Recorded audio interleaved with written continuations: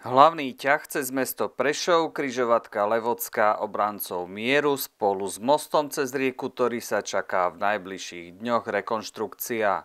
Investorom stavby je Slovenská správa CIE so spolufinancovaním z európskych peňazí. Súťaž na stavbu vyhodnocujú, no pri tejto stavbe je potrebné vyťať aj stromy.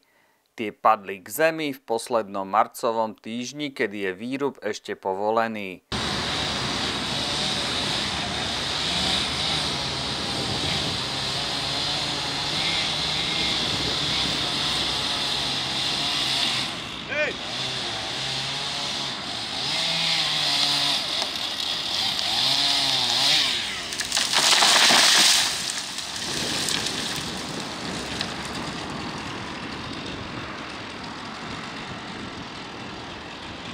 Plánovaný začiatok stavby by mohol byť v máji tohto roku, ak sa proti súťaži a víťaznej ponuke nik neodvolá. Trvať má 18 mesiacov, pričom sa bude upravovať cesta, zrekonštruuje sa starý most a vybuduje sa nový dvojpruhový mostný objekt nad riekou Torisa.